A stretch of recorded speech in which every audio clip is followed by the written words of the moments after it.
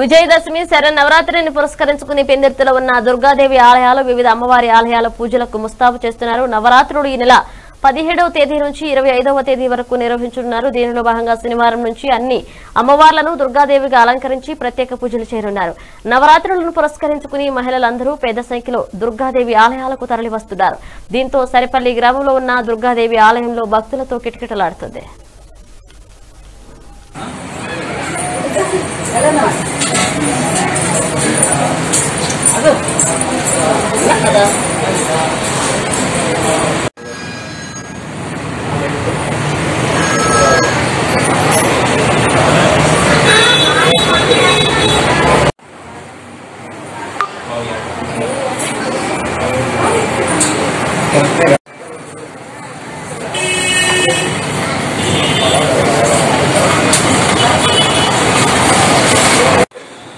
నమస్కారం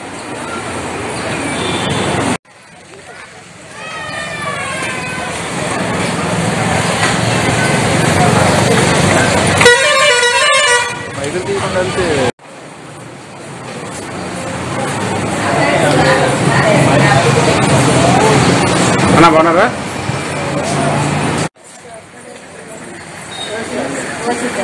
అందరూ